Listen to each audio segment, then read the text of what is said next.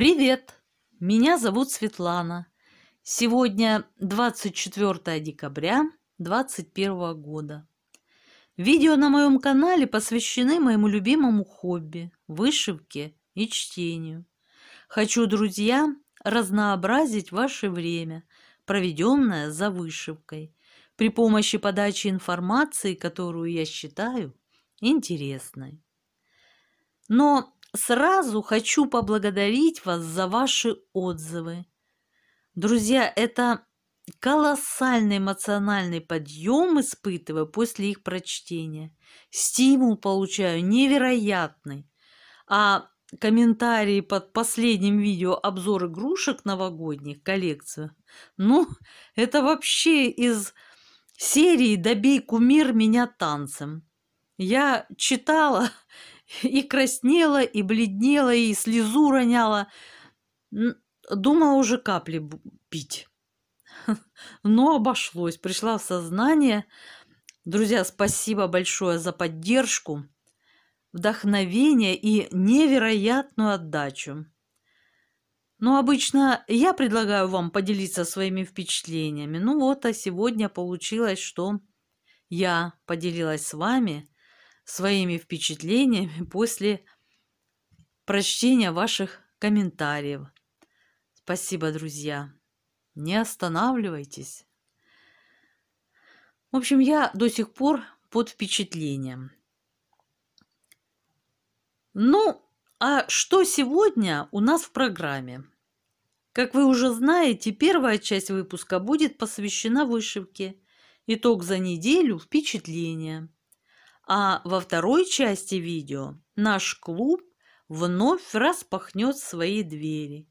В преддверии Нового года, важного праздника, мы совершим путешествие в разные страны и посмотрим, как встречали Новый год веками ранее и как праздновали, если вообще праздновали.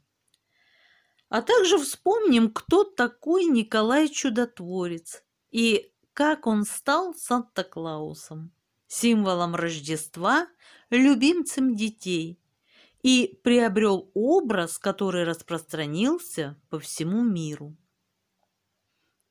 Но пока вернемся к первому пункту программы, к отчету.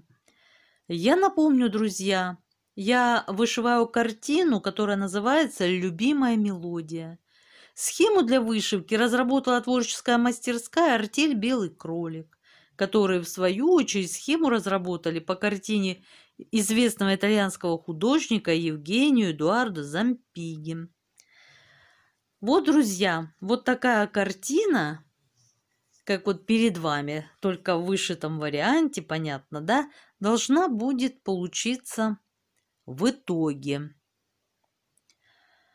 Ну, а сейчас мне бы хотелось немножко, так сказать, технических характеристик еще напомню, да? Размер схемы 576 на 420 стежков. В работе задействовано 200 цветов, из них 102 бленда. В работе я использую ниточки ДМС по ключу. Вышиваю крестиком два сложения нити на конве Аиде 18 каунта. Ну вот, друзья, если мы картинку разобьем на три части по вертикали, то я работаю над первой левой частью одной трети да, картины. Уже у нас вышит главный, один из главных героев Джузеппе, конечно, с гармошкой, вышит камин, свеча на камине, бутылочка с вином в плетенке, скатерть, бесподобно. Ну и, конечно, еще добавились персонажи, курочки. Одна из них уже совершенно готова, пеструшка. Также вышиты уже ножки стола, но еще не до конца, кувшинчик. Ну, в общем, можно смело сказать, что мы уже находимся в нижней левой части.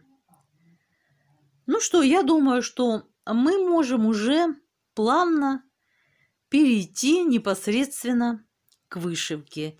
Сейчас мы Ой, уберем ниточки. Превью. Надо немного уменьшить. Ну вот, друзья, перед нами вышивка. Вышито уже, друзья, 35%. В крестиках 84 700. Осталось всего лишь 157 200. Вот так. Чтобы в итоге было нам 242 тысячи. Но я округляю, друзья, все. А за неделю, за прошедшую, мне удалось вышить три с половиной тысячи. Вот так, друзья. Ну, я напомню, что вышиваю я полосками, слева направо иду. Э, беру площадь, выделяю участок э, в 2100 крестиков и заполняю его по цветам от меньшего к большему. По электронной схеме я вышиваю в программе Сага. Ну вот, друзья, удалось мне на прошлой неделе закончить плиты каменные, пол, комнаты наших героев. Заполнилась и слегка продвинулась у нас курочка ряба. Кстати, так интересно, у нее такой изумленный вид. Сейчас покажу вам на картинке. Видно, интересно ли вам? Вот она Она крайне чему-то либо удивлена. Я думаю, что ей удалось снести золотое яичко, и она, ну, глазам своим не верит. Вот смотрит куда-то, открыв ротик даже. Ну, пеструшка, как обычно, по делам. Все время она вся в делах куда-то направляется. И, как вы можете видеть, эта часть уже заполнена. Я пошла заполнять следующую. У нас хорошо уже выступила на передний план хамелия. Вот такая загадочная курочка.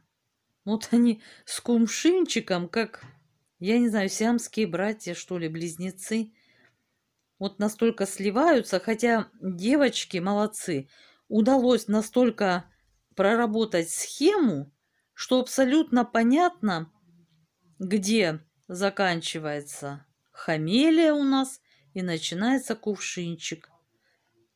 Снизу, правда, О, извините, слегка сливаются, но все равно, когда вот здесь все вышьется, будет заполнено, то будет абсолютно понятно, где дно кувшинчика, а где хамелия.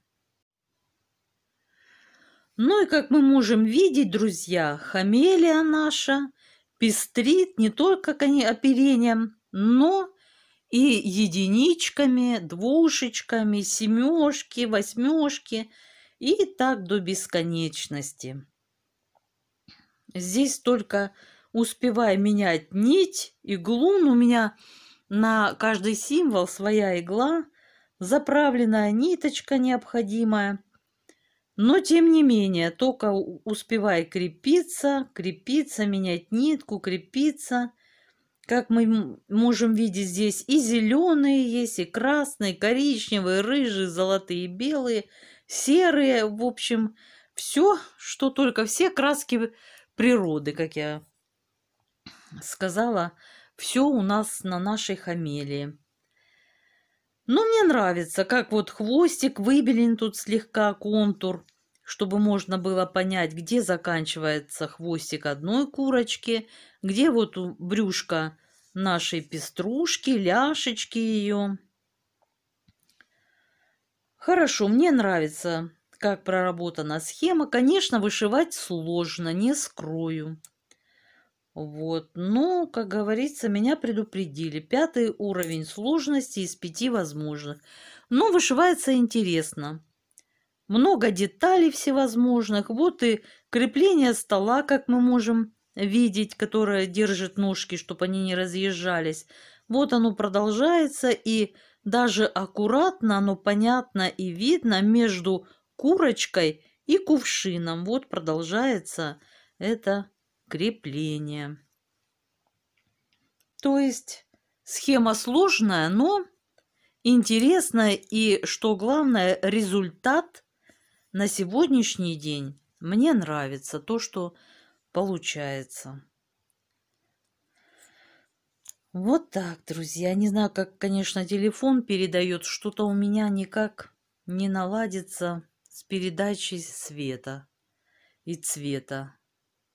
То не с той стороны засвечивает туда. В общем, как-то что-то не задалось сегодня.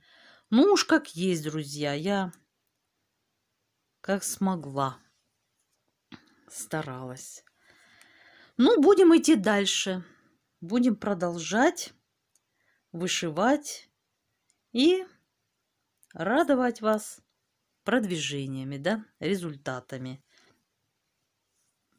И, кстати, Джузеппе, дружище, я знаю, что к праздникам ты пойдешь навестить винный погребок в соседнем аббатстве – и встретишься там со старым знакомым добряком-виноделом. Так вот, передай ему, дружище, что у него от Людмилы Джуренко готов брат, и даже возможно, что уже оформлен.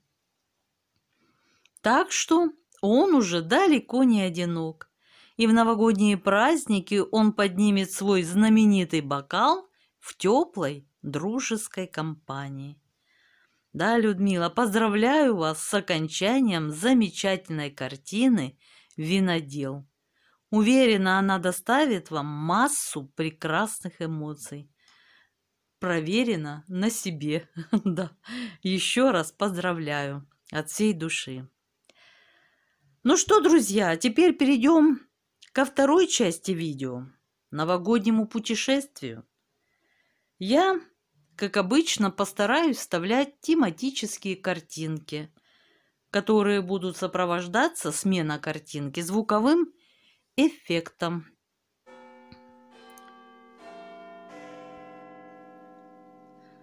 Как раньше праздновали Новый год в разных странах.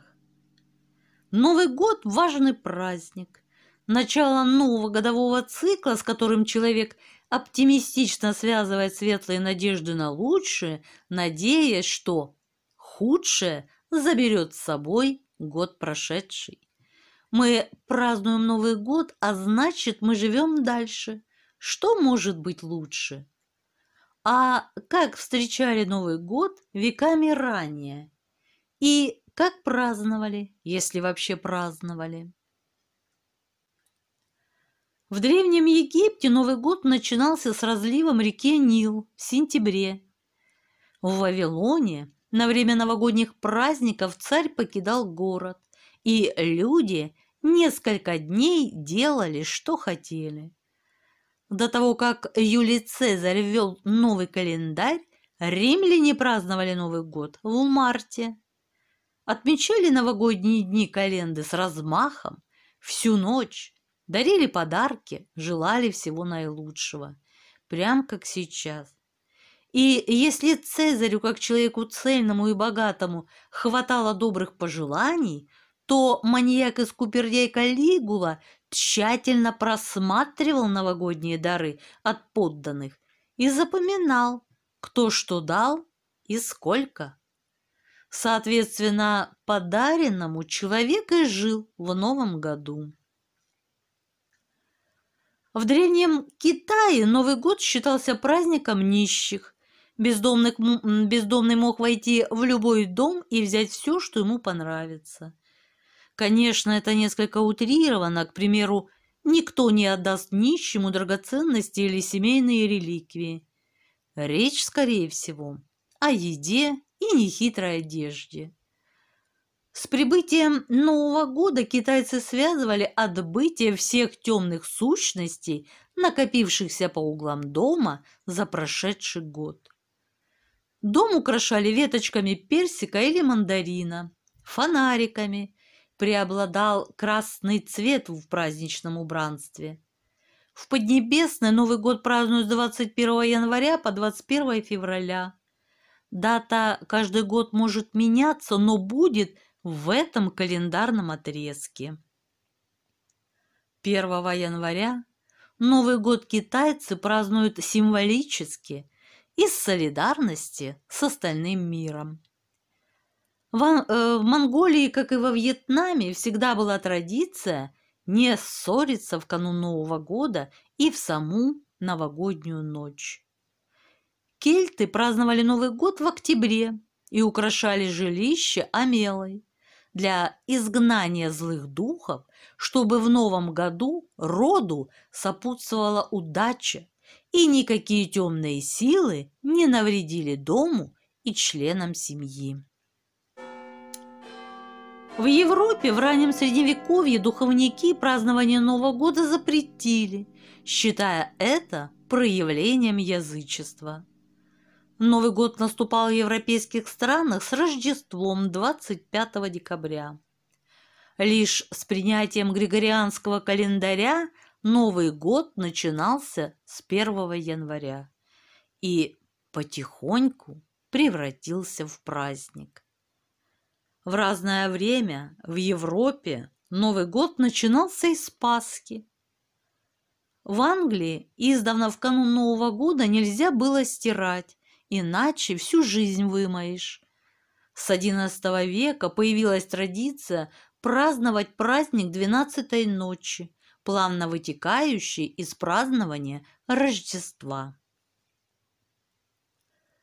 При королевском дворе этот праздник встречали весело, с маскарадами и пирами.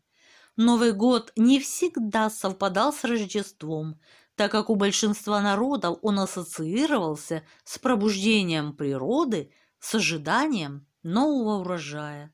Так было на Руси до XIV века. Новый год праздновали 1 марта, а позже на Руси празднование перенесли на 1 сентября, то есть после сбора урожая. При Петре I, любившем перенимать западные обычаи, Новый год стали праздновать с 1 января, после календарной реформы. Как раз с 1700 года и начали – при Петре начали хвою использовать для украшения дворов и улиц в преддверии Нового года. При нем же прижилась мода на фейерверки. Дочь Петра I, императрица Елизавета I, ввела в арсенал развлечений, в том числе и новогодних, карнавалы.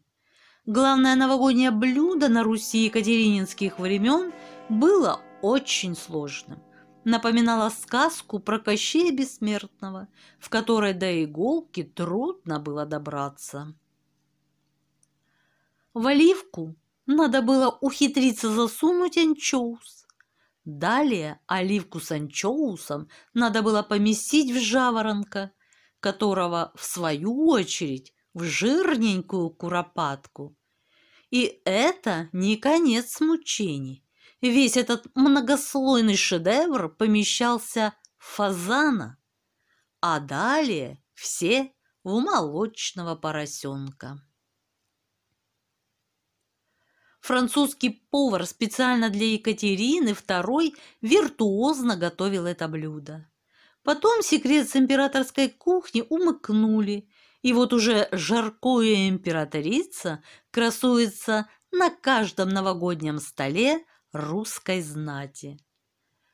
Ну а во времена СССР главным блюдом на новогоднем столе стал знаменитый салат оливье, плюс бутылочка советского шампанского и обязательно нарядная елочка или сосна. Такая традиция сохранилась и до наших дней – Хотя сегодня рецептов различных вкусностей великое множество, да и продуктов в магазинах полно, оливье все еще удерживает пусть не лидирующие, но устойчивые позиции. Традиция готовить сытный стол со множеством блюд соблюдается почти во всех странах, в которых Новый год праздновался и празднуется. Поверье, как встретишь Новый год, так его и проведешь, распространено у многих народов. Все, все в это верят, а как не поверить?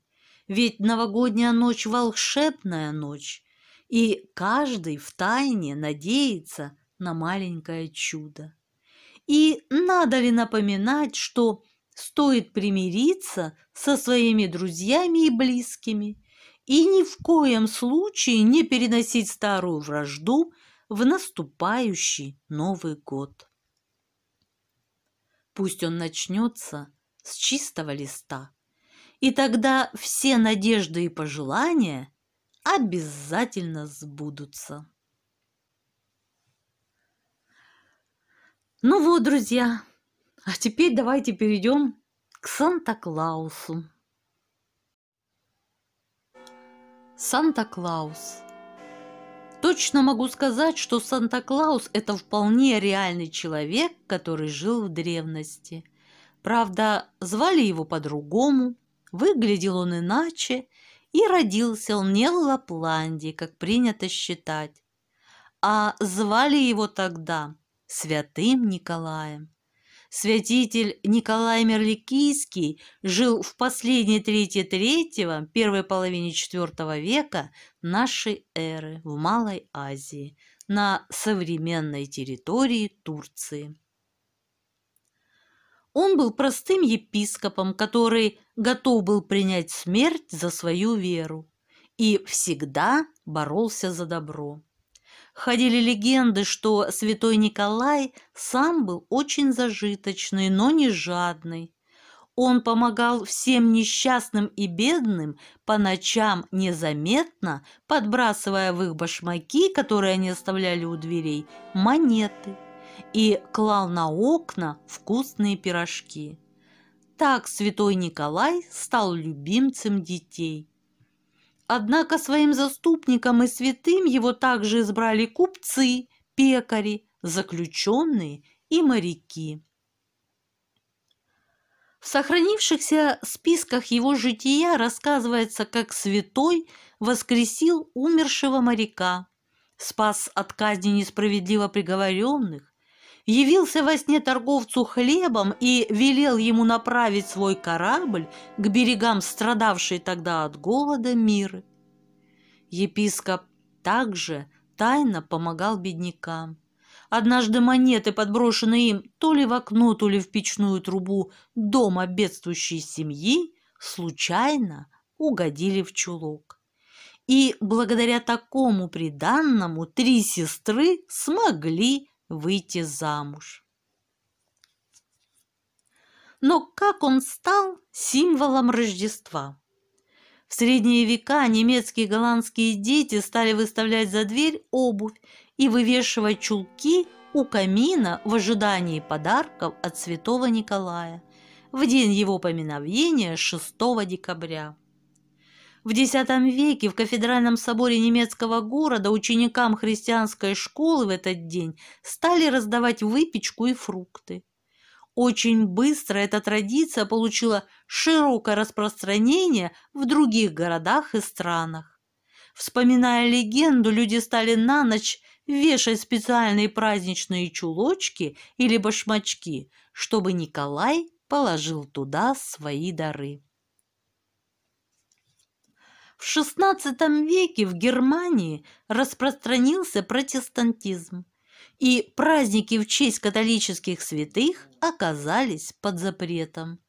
Отныне подарки детям предписывалось дарить на Рождество 24 декабря от имени младенца Иисуса.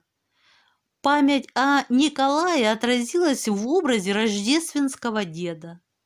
Принято считать, что святой, заходящий в дома по ночам, спускаясь по печной трубе, послушным детям приносит подарки, а озорникам, шалунам и проказникам – розги. Поэтому дети задолго до праздника стараются вести себя хорошо.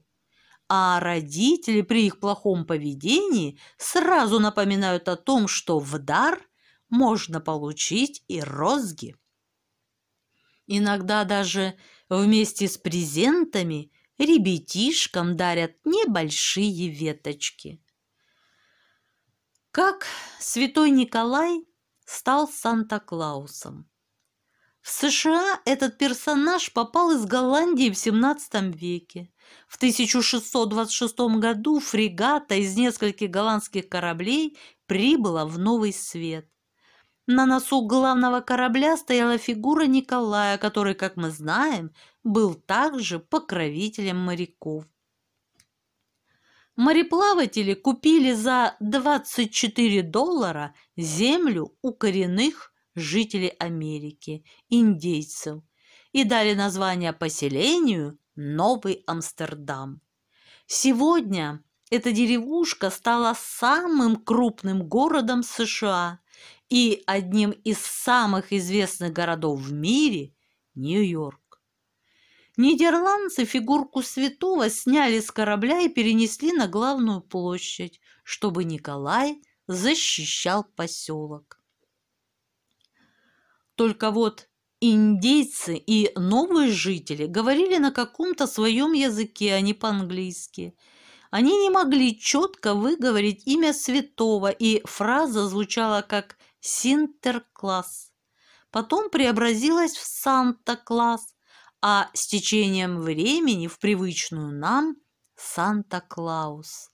Вот так святой Николай чудом преобразился в Санта-Клауса, который в сочельник разносит подарки по домам. Однако на этом история преображения уже Санта-Клауса не заканчивается. Поэма Климента Кларка Мура «Приход святого Николая», опубликованная в канун Рождества 1822 года, стала важным этапом перевоплощения. В 24 стишьях описывается встреча ребенка с Санта-Клаусом, который принес ему подарки. В поэме от прежнего святого практически ничего не осталось. Он начисто был лишен строгости и серьезности. У Мура Санта веселый, жизнерадостный эльф с трубкой во рту и круглым брюшком. В результате этой метаморфозы Николай навсегда потерял епископальный облик и пересел на упряжку с оленями. Меж тем иллюстратор Томас Наст детально доработал образ Санта-Клауса в 1860-1880 годах в известном журнале.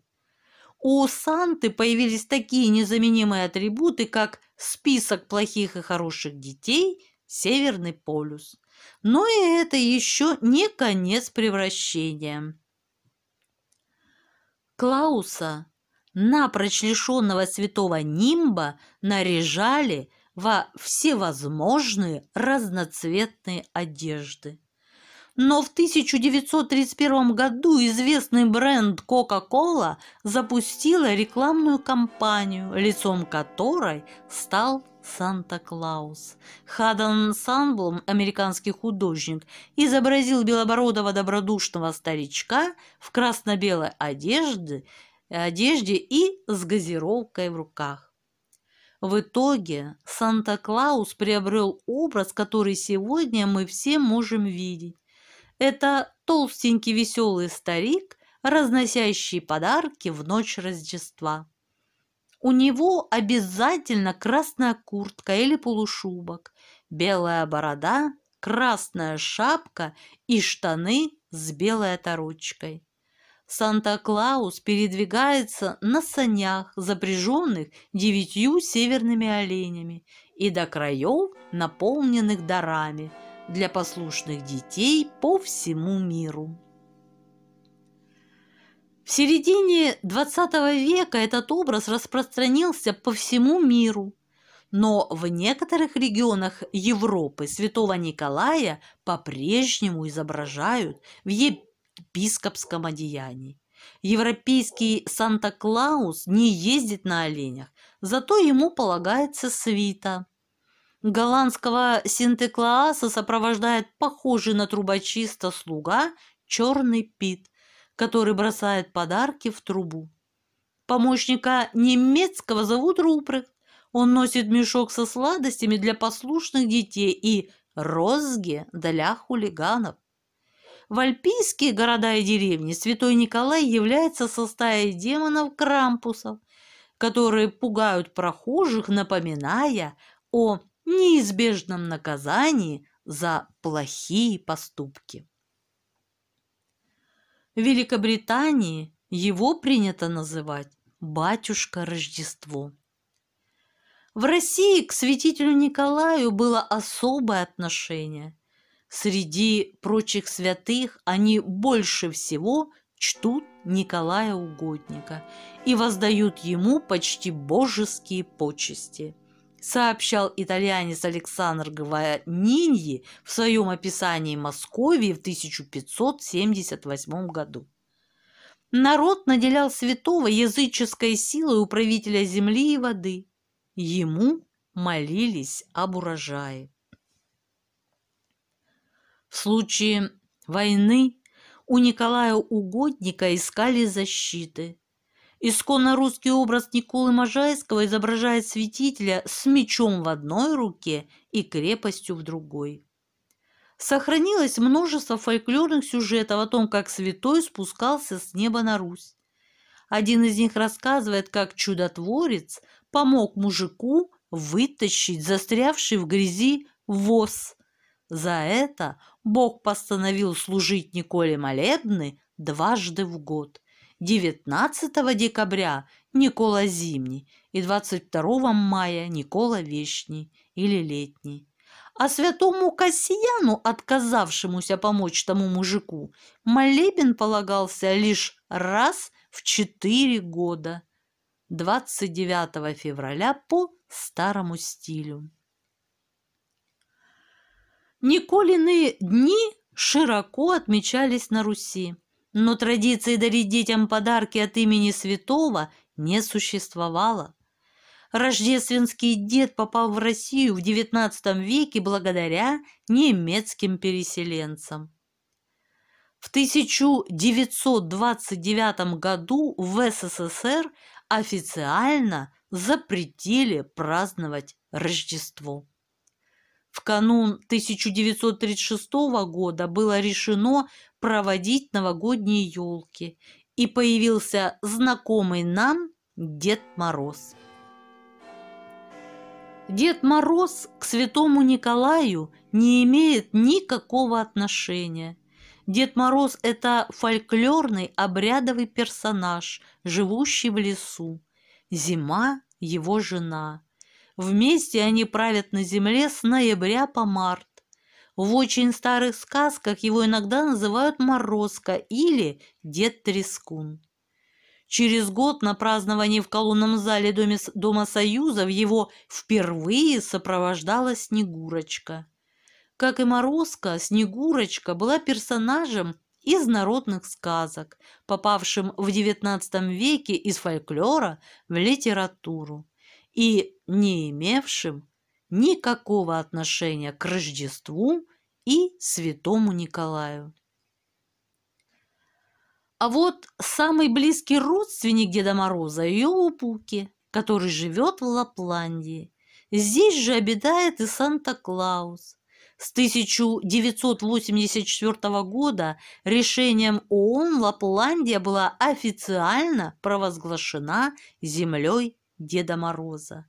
Здесь же находится и резиденция Санты, в которой он вместе с гномами и эльфами живет весь год. Именно туда дети со всего мира пишут письма с пожеланиями по адресу Полярный круг, 96930, Финляндия. Или на интернет-сайт santamail.com. Финское правительство возвело Санта-Клауса в культовый ранг. Построили ему дом на склоне горы, сделали рекламу, создали сайт и объявили его электронный адрес на весь мир. Именно Йолпук из Лапландии, Финляндия, ежедневно получает больше всего писем от взрослых и детей со всех стран мира. Ежегодно 24 декабря в полдень он на своих северных оленях приезжает в самый старинный финский городок в сопровождении своих юных помощников. Девочки, мальчики в красных комбинезонах и колпаках. Здесь создание городского совета провозглашается приход Рождества и поются новогодние песни. Но благодаря американской рекламе и настойчивости западный Санта-Клаус постепенно вытеснил и английского, и финского юлупуки, и французского рождественского деда. И даже нашего любимого и родного дедушку Мороза. Турки поставили памятник святому Николаю в городе Демра, однако стоит на постаменте не епископ, а веселый бородач с огромным мешком подарков. Однако, судя по всему, это не окончательное изменение в образе святого. К примеру, в Израиле, где строго соблюдаются религиозные традиции, Рождество не празднуют. И если вы захотите там купить рождественские открытки или другие аксессуары, то вам будет найти их весьма проблематично. Но выход есть из любой ситуации.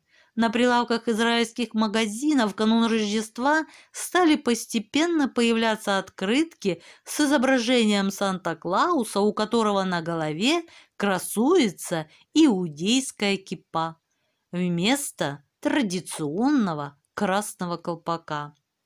На открытках пока что отсутствуют праздничные поздравления, но что-то подсказывает, то ли еще будет. Ну а если серьезно, то мне кажется, что неважно, кто постучится к вам в дверь в новогоднюю или рождественскую ночь. Дед Мороз, Санта, Николай, батюшка Рождество или Йолупуки. Главное верить в волшебство и доброту, чтобы веселый волшебник принес вместе с подарками улыбки и радость. А как его зовут, вы спросите у него сами, когда встретитесь волшебную ночь. Я желаю вам исполнения самых заветных желаний. Пусть добрый Санта принесет счастье в ваш дом.